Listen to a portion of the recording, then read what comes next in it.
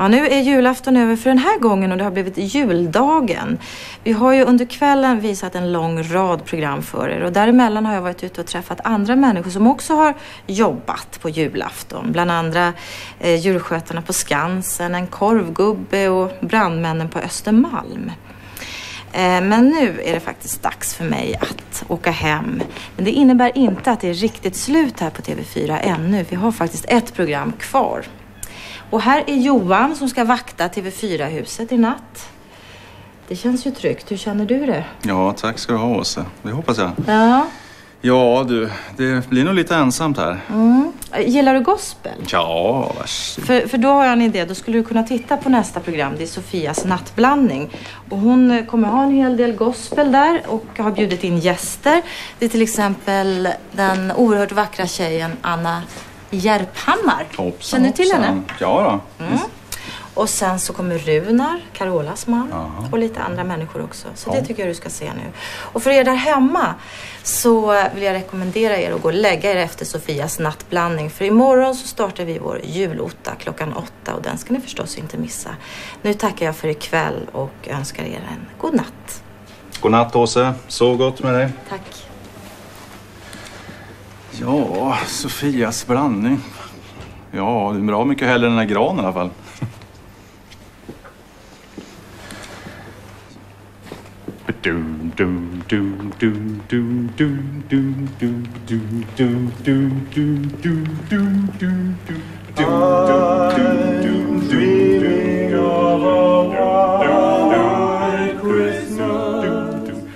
Just like the ones I used to know, I used to know, where the treetops glisten and children listen to hear sleigh bells in the snow.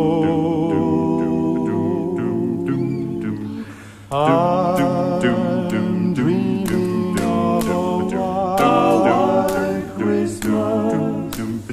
with every Christmas card I write.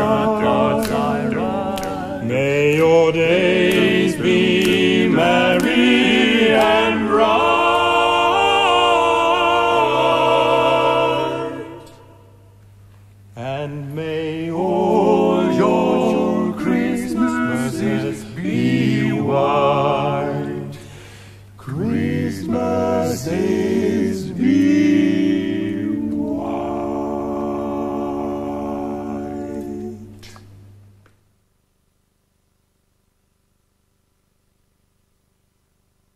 Sofias nattblandning presenteras av Torget.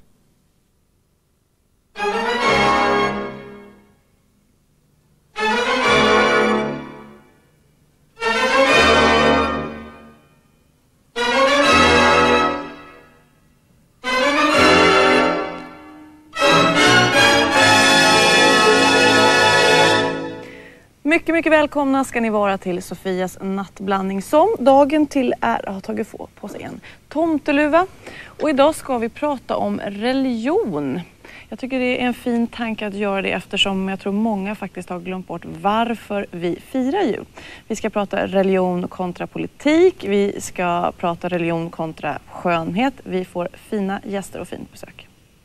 I Sofias nattblandning i natt, Alf Svensson, Anna Järphammar, jultomten Runar, Dalai Lama, Ronny Rooster, Anna Järphammar, Thomas Gylling, Felix Herngren och så Anna Järphammar. Ja, och nu har vi fint besök i studion på självaste julafton. Alf Svensson. Ja, fint och välkommen. fint. Ja, det är det absolut. Tack ska du ha. Ja, jag tänkte vi skulle prata om religion och du borde ju verkligen veta hur det står till i Sverige just nu. Fler och fler går ur Svenska kyrkan. Men gör de det egentligen? Ja, Jag tror att det är 92 procent av svenska folket som är kvar. Mm.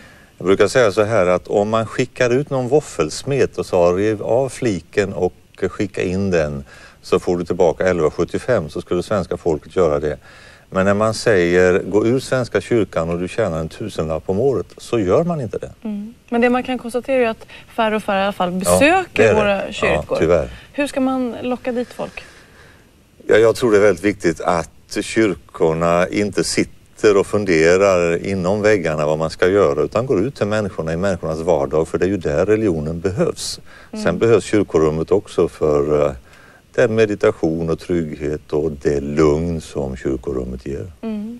Men kanske fortfarande när man kommer ifrån Stockholm och storstäderna, då är fortfarande kyrkan en samlingspunkt. Ja, lite mer kanske. I varje fall under julen, julottorna och kanske ännu mer nu midnattsmässorna brukar väl vara väl fyllda. Och det visar väl då att, att egentligen så tycker nog svensken att det är ganska skönt att få slå sig ner i en kyrkbänk. Men så är vi ju lite fega. I Sverige frågar man ju så här om man tyr sig till något kyrkligt. Va? Har du gått och blivit religiös? Som om man nästan har passerat Blivit tillbaka sjuk. till 1800-talet eller blivit sjuk. Ja. Ja, precis. Hur går eh, politik och religion ihop då? Ja, man ska naturligtvis inte blanda politik så att man tror att politiken har med själva trosläran att göra. Nej. Utan politik handlar om etik, hur vi behandlar varandra. Och då har vi i vårt land i bakhuvudet den kristna etiken, traditionen och normerna, budorden. Och de tycker inte jag vi ska skämmas för, lika lite som vi skäms för vårt svenska språk. eh, Så behöver vi inte skämmas för vår eh, etik. National Prayers Breakfast. Mm. Berätta. Varje år, i år tror jag den 6 februari, så kommer USAs president till en jättehall i Washington och där träffar han sådär 3000 personer och äter frukost med dem. De kommer kanske från 130-140 länder. Eh, och det är då National Prayer Breakfast. Dagen innan så kommer vicepresidenten och talar till hela diplomatiska kåren. Och det är ganska fascinerande. Jag har varit där och träffat då både Reagan, Bush och Clinton och se att de inte blygs för att tala om religion och religiositet. Jag har sett eh, Hillary och Bill stå där hand i hand och sjunga How great thou art, den svenska sången alltså O store Gud. Och det är inget konstigt med det. Eh, I Sverige så skulle det te sig något märkligt om Göran Persson och hans fru stod och sjöng O store Gud och samtidigt tårarna föll ut med kinderna. Jag gillar alltså det här att man vågar tillstå att man i varje fall funderar åt det hållet. Det gör ju inte vi i Sverige. Svensken ska ju vara halvfull för att våga snacka religion. Hur använder du din tro? Påverkar den dig varje dag? Ja, jag lever ju med det. Jag menar, det är ju inte så att eh, i det hörnet har jag ingen tro, i det hörnet har jag. Men det är ju inte så att jag går omkring och tror att jag är för mer eller att jag sätter mig på höga hästar. Jag vill snarare säga som så att jag vet av egna erfarenheter hur många gånger jag kommer till korta och missar och gör fel. Så jag behöver den trygghet som tron ger. Och inte någonting eh, eh, ska man säga, exklusivt eller fingerpekande eller någon slags smala läpparnas religiositet. Det vill inte jag veta av. Det, det är julafton nu och ofta så, som jag sa tidigare, så tänker knappt folk på vad det är vi egentligen firar. Tänker du på det? Tänker du på Jesusbarnet en sån här dag? Ja, jag tänker på att Jesus föddes. Det vore dåligt annars tycker jag. Jag menar när vi har födelsedagar, du och jag, så vill vi att eh, man ska ha klart för sig att det är vi som har födelsedagar. Ja, precis. Och så är det ju. Det är ju Jesu födelsedag. Och det är ju någonting ändå som borde fascinera alla människor.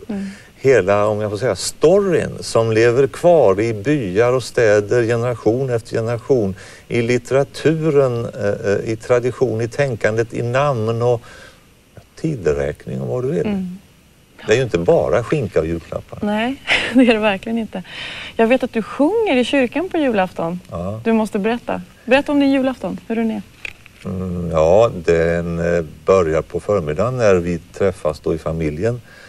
Eh, Fram till i år så har det varit min pappa som nu tyvärr inte finns längre. Han läste julevangeliet och sen har vi haft glögg och, och ja, en brasa. Och när barnen var små så fick de alltid en liten julklapp då för de kunde inte vänta till kvällen. Något som de kunde syssla eller pyssla med. Sen klockan 12 så går Grännaborna upp på Grännaberget och hälsar på varandra och pratar lite och så dricker man glögg där. Och så ringes julen in i en gammal, gammal klockstapel med spröd klang som tonar ut över Vättern och Visingsö. Åh, vad vackert. Ja, det. Du är välkommen. och, och eh, så läser kyrkoherden upp en årskrönika, vad som har hänt i vår lilla idyll, eller vråa världen. Och gör vissa också utflykter internationellt. Sen eh, går man hem och äter julmat. Eh, och därefter så är det julbön i Svenska kyrkan och det är där jag brukar sjunga. Det är där. Ja, jag inbjuder inte folk att komma och lyssna men det äger rum i alla fall. Mm, Och sen efter det så är det julklappsutdelning och sen äter vi risgrynsgröt hemma hos oss. Har du önskat något i julklapp? Jag tycker det är svårt att veta vad man ska önska men eh, gärna lite böcker och Mm. sånt där. Tack för att du kom. Tack du. Hoppas du får en mycket, mycket trevlig jul. Hoppas jag du får också. Mm, Ja. Nu ska vi gå över till eh, Sofias nattblandnings eh, internetskola med Thomas Gylling.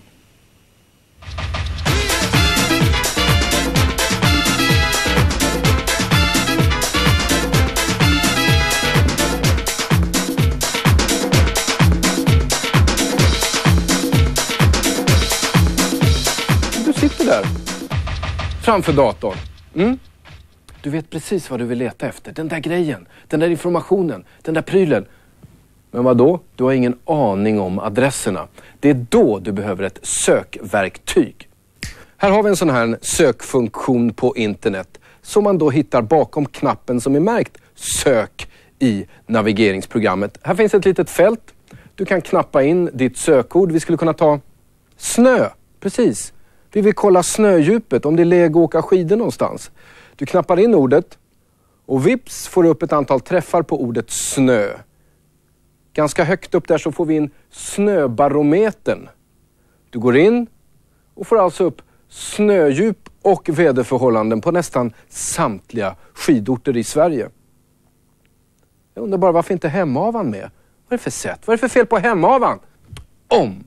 Jag bara säger om du skulle vilja kolla vilka hemsidor det finns om musik på nätet. Mycket enkelt. Du knappar in sökordet music och bland annat då så får du upp Music Zone om svensk musik på nätet. Lite delikat här, kom närmare tvn. Eh, om du är intresserad av Elvis. Elvis, jag upprepar Elvis, så finns det en uppsjö av sidor, alltså sites om Elvis. Fortsätter du sökningen så kommer du att komma på ungefär 10 000 träffar till, alltså 10 000 sidor till med information om Elvis. Oh my God. You'll be doing all right. Ja, du vet, himlen öppnar sig. Elvis. Titta här till exempel. Elvis Collectibles, Elvis Pictures, Elvis Mugs. Mugs, det är alltså de som sparar på Elvis kaffekoppar med hans tryck. Gud, vad stänger man av någonstans? Något som kan vara bra, det är att kunna söka på kategorier. Och här, här är vi till exempel inne på Lykos sidor och här kan man gå in på olika ämnen. Till exempel ljud, data, shopping, resor eller ja, några 10 000 ämnen till.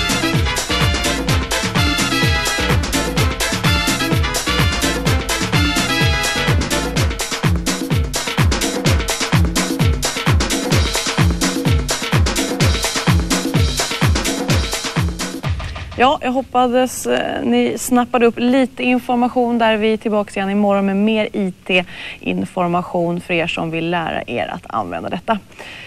Kvällens, nattens tema är religion och nu är jag mycket, mycket stolt att presentera några nunnor. Sound of Nuns. Rex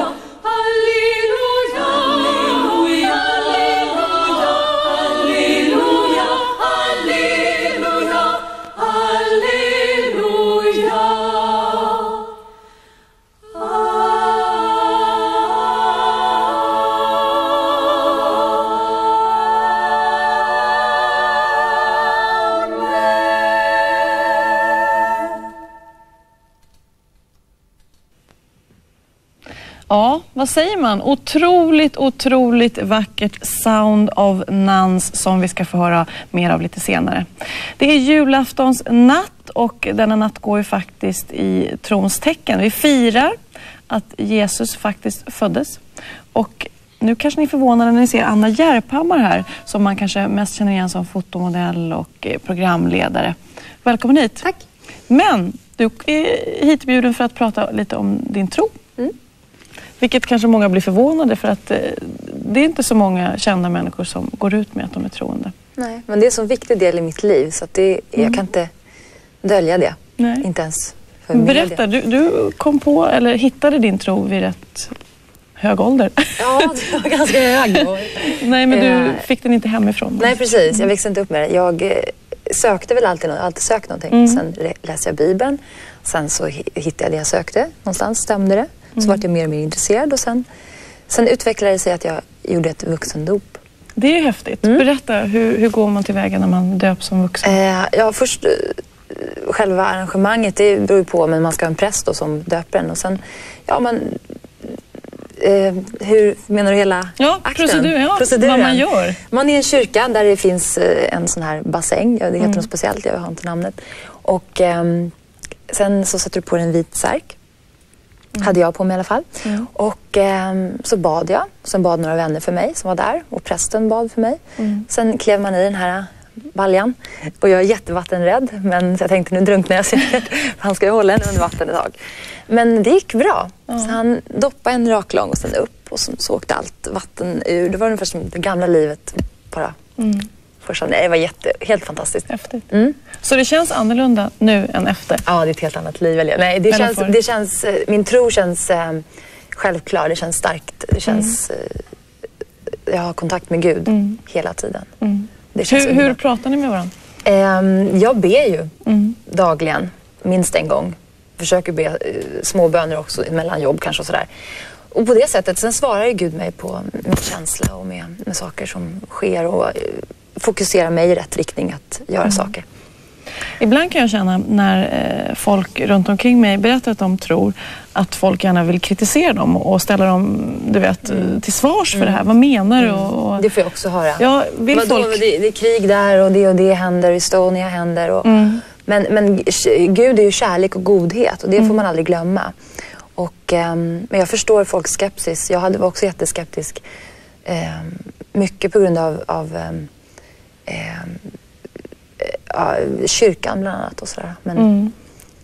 men man ska se vad det är, ingenting annat. Det är, liksom, det är inte det här eh, det, är inte, det är högtidligt men det är inte det här att ja, man går till kyrkan och ber och sen på julen gör jag det. Och så gör, utan det, är- det är så mycket starkare. Det är någonting du lever med varje dag. Inte bara kring idag på julafton. Utan det är liksom, det måste, Gud måste vara med dig jämt. Du måste, Du läser Bibeln förstår jag. Ja. Vilket, vilket parti tycker du bäst om? eh, jag gillar ju Nya Testamentet, Jakobs brev gillar jag jättemycket. Och Korinthierbrevet också. Mm. För det är mycket upplysning om och man fylls med kraft när man läser det. Om hur man just ska leva livet bäst och vara mot andra människor. Och, Så du drar vä- väldigt starka paralleller med 90-talet ur Bibeln? Ja, jag, jag tror att vi behöver Bibeln. Jag tror att vi behöver Gud idag mer än någonsin. Vi har alltid behövt Gud, men jag tror att idag är det vi måste upplysa varandra och hjälpa varandra och liksom hitta rätt sätt att leva. För det finns för mycket ondska idag som vi måste klara och stå över. Liksom. Alf Svensson var ju här tidigare. Röstar du på KDS? Nej, Varför? Eh, det har aldrig tilltalat mig, eh, Nej. det partiet sådär. Och sen så skulle inte jag kunna rösta på ett parti som säger att de är kristna och då jag är kristen, då måste jag rösta så. Utan för mig är det sådär politiskt korrekt att vara, att sitta och prata. Jag vet inte, det det handlar om, det är mycket djupare. Det har med själ och hjärta att göra. Det har inte liksom... Var, var det svårt för dig att välja vilken mm, tro eller vilken religion du skulle fastna för? Nej. Testade du fler? Nej, jag gjorde inte mm, det. Jag gjorde inte det. Det, det tror jag är en liten trend det där, att prova på att vara hindu och allt det här. För att det är, ja, det är en trend idag. Det, det är någonting som inte folk riktigt vet vad det är och då blir man intresserad av det, sådär new age och sånt. Men det, är inte, det har inget med, med Gud och kärlek att göra. Försöker du eh, påverka dina vänner? Mm, eh, jag gör nog det. Jag vet, de har aldrig sagt det till mig att jag försöker, men det kanske jag gör för jag kan nog vara tjatig och sådär. Men jag försöker bara förmedla det goda budskapet. Kraften jag får från Gud för att göra saker på rätt sätt och, och vara, vara bra mot människor. Mm. Och kärlek, det är det det handlar om. Kärlek och godhet. Så här i juletiden måste man ju prata om också hur du firar jul. Ja, det blir med dem nära och kära. Känner att du väver in detta i tron också. Går du till kyrkan? Eh, nej, jag gör ju sällan det. Jag känner mig lite felplacerad i kyrkan. Jag känner, känner mig störd och jag känner mig... ehm, jag, känner, jag får ingen ro och jag, sö- jag saknar det jättemycket. Jag skulle verkligen vilja ha det. En kyrka att kunna gå till och känna... Men när du liksom- gifter dig så? Då, Ja, gör du då det i blir det kyrkan. kyrka. Ja. Det känns det ju det. också, jag är inte troende men det är ändå, man, man, det är en häftig tradition. Mm. Det, det känns häftigt tycker jag. Jag tänkte att eh, du skulle få eh, titta in en annan religion faktiskt, fast du inte vill, men du kan i alla fall Nej, betrakta. Nämligen Hare Krishna. Vi har ju några av dem i Sverige och de beter sig ungefär så här. Den hårtofsen som vi har i, i nacken den visar att vi tillhör en av tre huvudinriktningar in, inom hinduismen som kallas för Vaishnaver. Det märke som vi har i pannan det kallas för tilak och det har vi målat med gangeslera. Den här klädedräkten som vi bär den kan man jämföra med en uniform ungefär. Den kan tvättas i 40 graders eh, tvätt. Ingen centrifugering. I Krishna-rörelsen så är vi vegetarianer också och det är en väldigt viktig del av den andliga utövningen. Det här är Bhagavad Gita och det är den heliga skriften för Krishna-medlemmarna såväl som 700 miljoner hinduer också. Det finns nio Krishna-tempel i Sverige. Ett här i Tumba där Krishna-anhängare idag firat Krishnas uppenbarelsedag. Krishnarörelsen som är en gren av hinduismen har idag 3000 församlingsmedlemmar i Sverige och lockar liksom många andra nyandliga rörelser sökande ungdomar med sitt religiösa budskap. Materialismen måste kombineras med en andlig, ett andligt sökande, en andlig insikt. Annars så leder den bara till att allting går ut för snabbare. Vi är eviga eh, andesjälar, tjänare till Gud. Meningen med det här människolivet är, är att återuppväcka vårt förlorade förhållande till Gud. Det gör vi genom att recitera Guds namn. Hare Krishna, Hare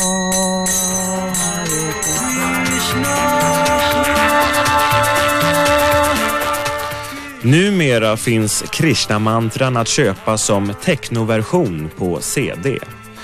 Maten som serverades vid riksbekanta raveklubben Docklands utanför Stockholm stod vissa kvällar Krishna-rörelsen för.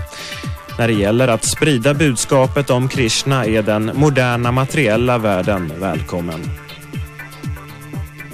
Inom Krishnarörelsen så använder vi mycket teknologi.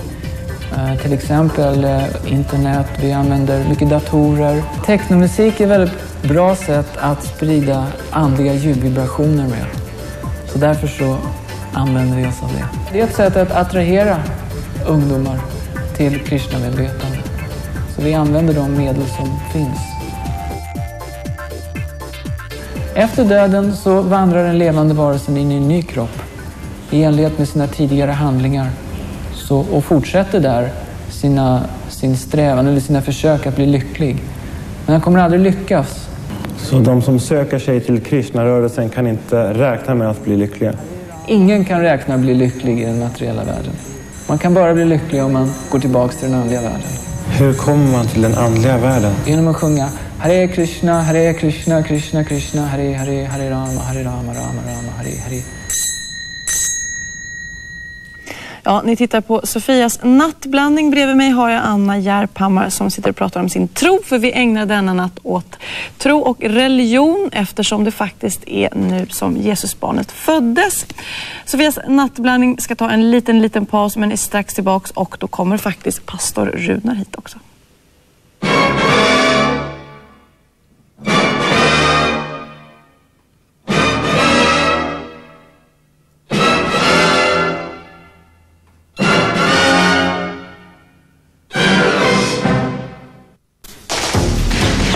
Specialtränad. Cock Rouge är tecknat. Han heter Carl Hamilton. För att döda. Världens bäst beväpnade terrorist. You have to cancel it. Och han får en anledning. Vi har fått en yrkesmördare i present, Näslund. ska vi använda oss av. Se Stellan Skarsgård i långfilmen Coq Rouge. Lördag klockan nio.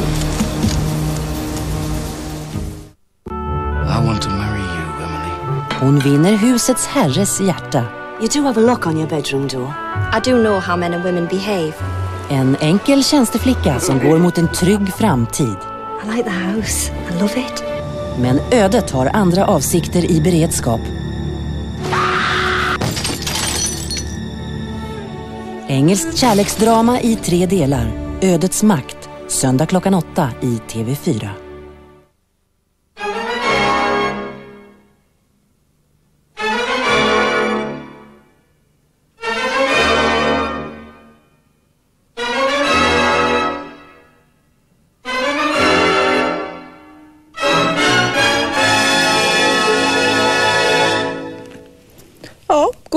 Välkomna tillbaks till Sofias nattblandning.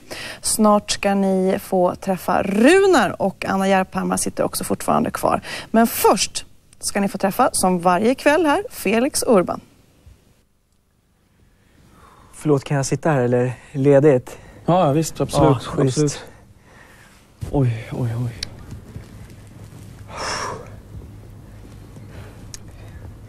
Har du gått och blivit pappa eller? Ja, precis. Ja, grattis. Tack. Alldeles nyss faktiskt. Nyss? Ja. Grattis. Oj, oj, oj. Du med eller? Ja, precis. Eh, typ eh, åtta, nio minuter sedan bara. Oj, kul. Grattis. Ja, tack. Gud, då Oj. kom han. Lille killen. Han, blev en kille? Ja, precis. Åh, vad kul. Grattis. Tack. Gud, han kom ut. Lille Tobbe sa vi direkt, både jag och tjejen. Vet du. Han är så jäkla lik mig. Vet du. Upp i dagen bara. Jag bara grät i floder alltså. Gud vad underbart. Oj, oj. Ni då, vad fick ni? En liten tjej. En liten tjej? Och Grattis. jättesöt, jättesöt. Ja. Hon var inte alls lik någon av oss. Jättesöt. Tack. Okej. Hur stor var hon då? Fyra och ett. Fyra och ett? Ja. Jaha. Och det är, det är så halvstort liksom. Tre och åtta är väl som det är Ja, normala. Mm. Ni då? Fyra och sex. 50 Oj. till och med. Ja visst. Då gick han över tiden alltså? Ja, 14 dagar vet du. Oj. Jag och tjejen vet du, vi gick bara gick så han kom inte, han kom inte och sen så, så bara kom han. Grattis liksom. Så bara var han där. Oj.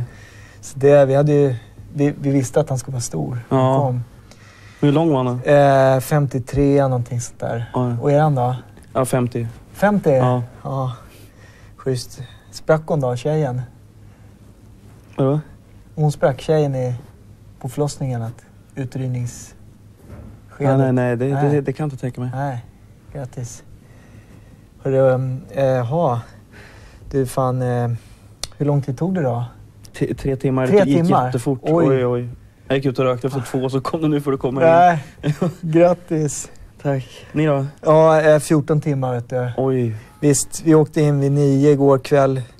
Så gick vattnet och sen så åkte vi in, verka, krystverka, sen ja, utredningsskedet. Ja, 14 timmar. Mm.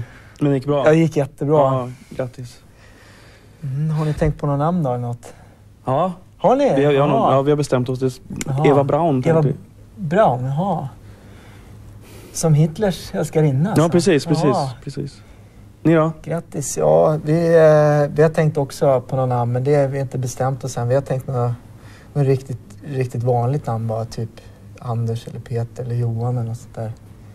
Jättevanligt namn. Mm. Jaha, grattis. Tack.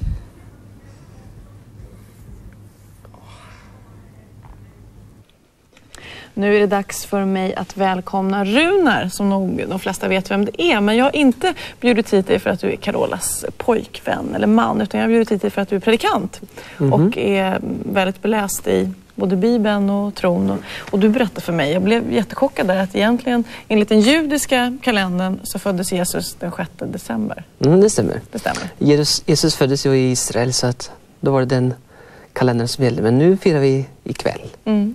Tycker Nu jag. firar vi. Hur Mm. firar ni? Hur firar du jul?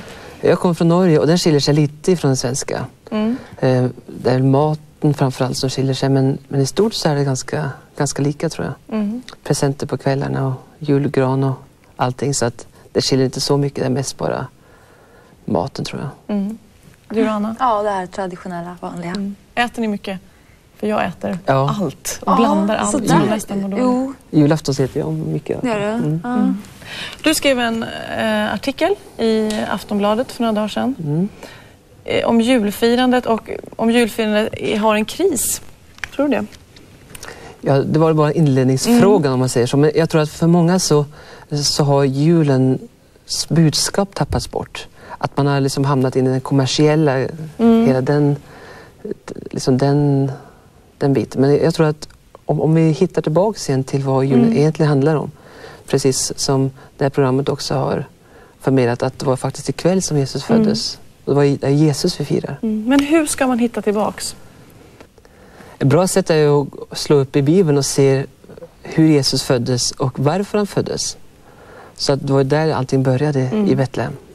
Men jag kan känna, jag vet att du också sa det att du inte så ofta besöker kyrkan. För när jag kommer in i en kyrka så känns den rätt kall och opersonlig. Känner inte du så? Att liksom, kyrkorna är kvar i en tid som inte existerar längre?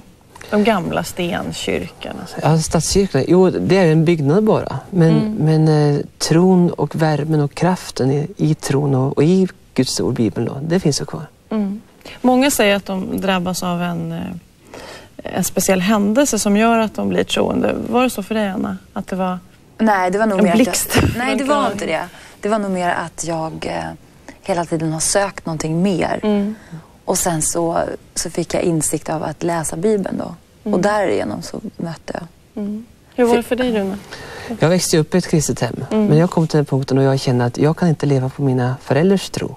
Jag måste själv ta en ståndpunkt här. Och då Mm.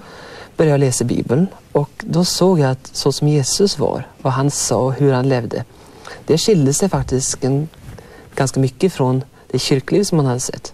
Mm. För annars är det ju många som eh, gör revolt mot sina föräldrar. Så kommer man från ett troende hem så blir man precis tvärtom och Mm. vice versa. Mm. Du kände aldrig så? Nej, jag gjorde ingen revolt mot mina föräldrar, men jag gjorde revolt mot vad säga, det religiösa, eh, felaktiga livet som jag tyckte de levde. Liksom att man, I det yttre så hade man Guds fruktan, men man förnekade dess kraft och att man inte levde efter de, de eh, alltså ideal som Jesus Mm, stod för. mm. Hur arbetar du som predikant? Jag åker omkring och predikar i olika kyrkor, olika sammanhang. Både statskyrkosammanhang och frikyrkor. Mm. Skandinavien och Amerika och Asien. Är, är det svårt att få folk att lyssna på budskapet? Nej, jag tycker inte det. För att jag tror att när människor verkligen får höra vad Jesus stod för, vad han, vad han sa, så kan man inte, man kan inte springa bort ifrån. Och jag tror att man blir berörd Mm. i sitt hjärta när, man, när det går upp för en vad Jesus egentligen hade att komma med. Mm. Så Men- men- där, där finns det en Mm. väldig attraktion hos folk. För jag tänkte för att eh, för många kan jag tänka mig att, att tro på någonting mycket behåller man det inom sig själv. Men en predikant måste liksom både gå ut mer och kanske försöka värva andra. Så där. Det måste vara två helt olika sätt att tro. Nej, det tror inte jag att det är. Nej. Därför att det enda det handlar om är att, att kanske Runar om vi jämför två Mm. oss, att han har kanske mer behov av att prata, eller Mm. så. Jag vet inte vad du har för behov sådär. Men, nej, men, alltså, men jag känner ju lika mycket det, fast jag är inte pastor eller präst, så känner Mm. jag ju att jag vill ju, vill ju ge det till människor hela tiden, Mm. vad jag känner Mm. och försöka få dem att Precis. och känna samma sak. Mm. Så det ju, Det var ju så som det var när vi, in, när vi kom in i, innan sändning här. Men att Anna och jag vi började prata direkt. För att ens personliga liv, det är ju Mm. där, det är där alltså flödet finns. Det är där Mm. liksom livskraften och, och hela hjärtat i ens tro. Så att Mm. man, ens tro har man personlig och den delar man med människor Mm. omkring sig. Sen, sen har jag också som yrke att predika Mm. för församlingar liksom, och människor, liksom, mä- människomassor. och sådär. Men, men eh, ens liv det kommer ut Mm. hela tiden. Hur, hur känner ni inför för andra religioner och för de som inte tror? Har ni respekt för dem eller är ni så arga och sura och tycker att de har fel? nej, man får inte vara arg och sur, för det, då dömer man ju andra människor för att de tycker någonting annat. Man måste ju respektera varandra. Men däremot så kan jag känna att eh, att jag skulle vilja hjälpa dem liksom på rätt, rätt väg. För att, Ja, liksom att de Så. ska få uppleva det som, Mm. som jag har upplevt. Mm.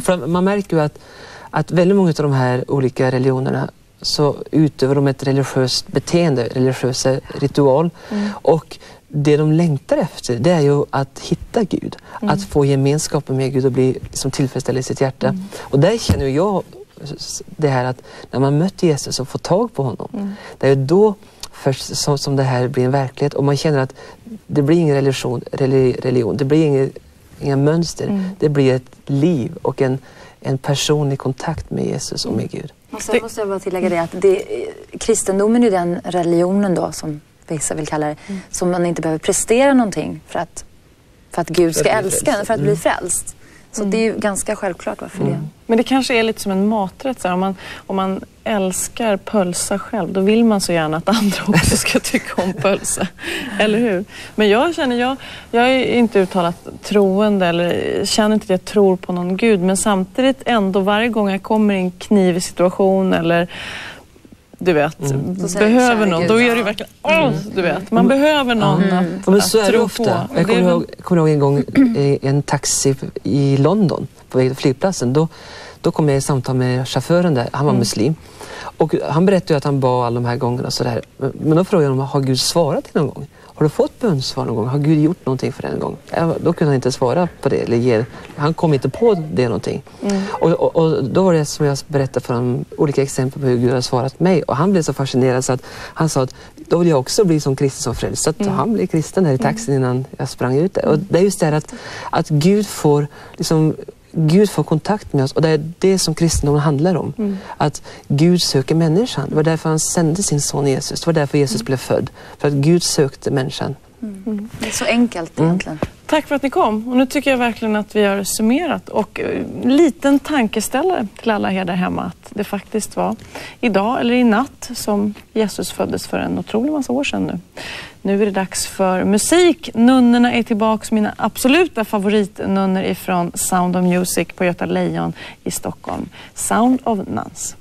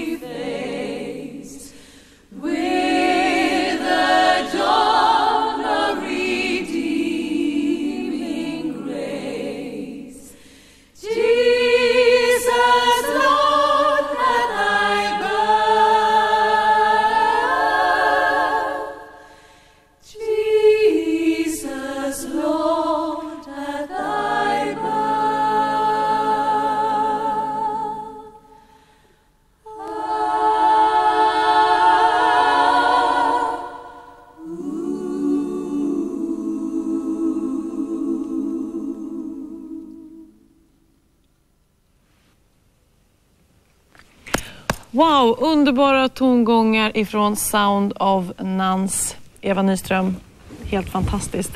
Eh, Sound of Music, ni har sju föreställningar i veckan. Det är mycket. Stämmer. Hur Ja, känner det- man sig så här i slutet av säsongen? Ja, det känns alltså att man jobbat så mycket. Mm. Det gör det. Men det är roligt också. Mm. Berätta lite om föreställningen för de som inte har sett. handlar om eh, Maria von Trapps liv och eh, hur hon eh, ville eh, ge sitt liv åt i klostret då, få Mm. ett liv i kloster.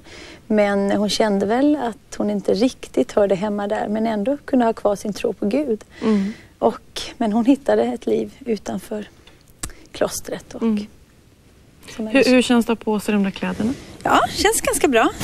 Faktiskt i början var det ovant då. Man hörde, hörde ingenting när man sjöng men vi fick lite fuskhål så här för öronen. Så nu, nu går det ganska bra. Mm. Har har du sjungit länge?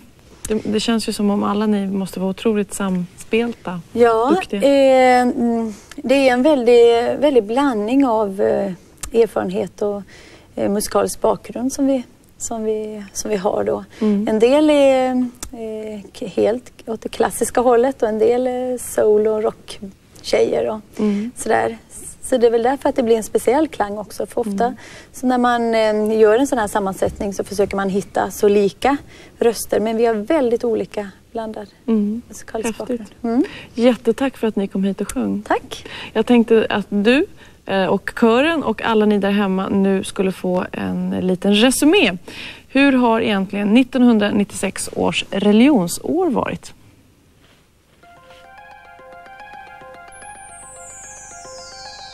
450 år före Kristus fick Siddhartha Gautama en uppenbarelse efter att ha fastat under ett träd och blev Buddha. I år besöktes Sverige av buddisternas fader, Tibets andlige ledare i exil, Dalai Lama, som svenskarna tyckte var så söt och han fångade hjärta efter hjärta inom den svenska pressen. Även buddhisten Bertram, allas vår Reine i Tre Kronor, hade en högtidsstund när han genom att överräcka en tygbit personligen fick visa sin andliga förebild vördnad och uppskattning. Under året har Sverige drabbats av nyandlighetens försök att få fäste. Rejvklubben Docklands var inte bara ett älsklingsställe för Gudrun Schyman utan även för Hare Krishna som såg sin chans att locka uppspelta ungdomar genom att bjuda på mat och spela sin nya technoplatta. Hinduisterna Hare Krishnas gud, guden Krishna, hade i år godheten att fylla 5000 jämt, vilket naturligtvis firades stort av rörelsens anhängare. Samtidigt som de traditionella kyrkornas tomma bänkrader nu fått präster och pastorer att rösta för strid. Populärt under året har varit att med kristaller, stenar och mystisk musik resa inom sig själv och försöka rena sin själ. Påven opererade bort blindtarmen. I Tibet är en sexårig pojke utsedd till Panchen Lamas efterträdare och den 24 december högtidlighålls Jesus födelsedag genom att skolor under minst ett par veckor håller stängt. Människor köper presenter till varandra och äter jämfört med övriga året ej naturlig mat. Ja, Sofias nattblandning börjar lida mot sitt slut. Men sist av allt så vill jag gärna presentera en man som har arbetat häcken av sig, måste man väl säga, hela den här dagen. Nämligen jultomten som har tagit sig tid att komma hit. Hej, hej. Välkommen! Ja, tack så jättemycket. Tack. Hur har den här julen varit för dig? Ja, den har varit hektisk som de flesta jular är. Mm. Man, eh, ja, det är ju otroligt mycket man ska hinna med på en enda dag. Mm. Och det gäller att vara i bra form då Mm. för att orka med. Jag har alltid undrat hur, hur du lyckas att ta dig igenom skorstenen. Ja, det där är ju, finns ju olika former av skorstenar så att man får ju Vissa det är, har, är det väldiga problem i men Mm. som du ser så den här myten om att jag är sådär jättetjock är ju lite överdriven. Mm. Så att eh, jag går på gym och tränar sådär för att Mm. Vad, gör, vad gör du resten av året? är man ju väldigt nyfiken på. Det är. Ja, det, är Är det- Många, det blir ju många, många, många dagar som faller bort där. Egentligen har jag ju bara en enda arbetsdag på hela året. Mm. Så att men, jag kan väl säga att man tar det lite lugnt och Mm. leker med de, eh, de presenter som inte kommer fram till folk. Mm. Ja just det, kommer alla presenter fram? Är det, är det ofta adresslappar faller av? Det där är ju ett väldigt problem och det vill jag passa på när vi är här, när jag får komma hit och gästa Mm. dig. Att säga att eh, adressändring, det är jätteviktigt att ni säger till ordentligt var ni bor. Mm. Massa presenter ikväll nu som inte har Mm. kommit fram. Och, V, v och Fasa, det dyker upp massa tomtekopior. Jag vet inte, är, är du sur för alla dessa eh, pappor som tar på sig tomtekläder och, och försöker vara som du? Eller underlättar han dem till och med? Ja, det det är ju smickrande på ett sätt att de, de gör ju sitt bästa för att försöka eftersträva det här, det här tomtelika. Mm. Och jag menar, jag hinner ju inte vara där så länge så det Mm. kanske är bra för, för barnen Mm. att ha, få lite mera tomte. Mm. Även om det är pappa. Hur är det? Får även elaka barn presenter? Det där är ju en väldigt svår bedömningssak. Vi har ju då en kommitté som brukar sitta och gå igenom långa listor med olika barnnamn. Det är framförallt barn det handlar om som ska Mm. bete sig. Eh, ja, de flesta får ju. Vi är väldigt snälla i den här kommittén. Mm, mm. Kanske inte Hellre, hellre fria än fälla, Mm. brukar vi. Vad, gör- vad gör du imorgon då? Sover du hela dagen och vilar upp dig eller? Ja, Imorgon måste vi se till att alla de här presenterna då som inte har kommit fram Mm. ja, vi får ju ta hand om dem och vissa kommer, kommer till folk i efterhand men i annat fall så, så lägger vi dem på vårt lager och är det roliga grejer så kanske man provar på att spela lite tv-spel Mm. eller Blir barn besvikna när de får för lite presenter? De är väldigt bortskämda nu för tiden va? de är bara, Det var annorlunda förr Mm. vet du. Då kunde de få, jag har varit med om barn som har börjat gråta över att fått en liten, liten utmejslad träfigur. Mm. Fullkomligt, det här är det finaste nu får ju barn. Populäraste julklappen i år? Ja, det är ju det här, äh, varit mycket internetabonnemang vet du. Mm. Och det är ju i och för sig, det är bra. Mm. Ja. ja, då ska jag släppa iväg dig nu. Tack för att du kom. Ja, tack så vi mycket. hoppas vi Tack. ses igen nästa jul. Ja. Jag hoppas du får vila upp dig då under det här året. Nu mina vänner är det dags att säga hej då i Sofias nattblandning. Vi är tillbaka igen imorgon natt. Men vi ska avsluta med en musikvideo med Ronny Rooster. Den julen och kolla mycket noga på den vackra damen. Jag tror ni känner igen henne.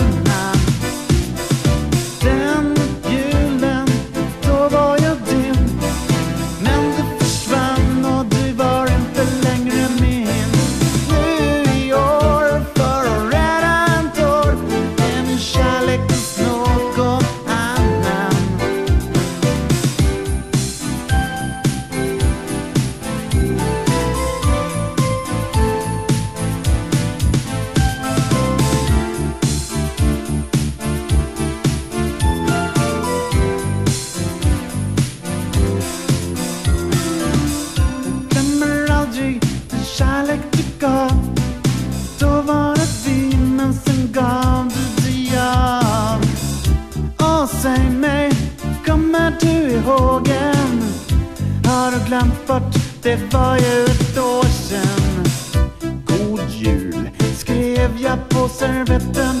Jag älskar dig, det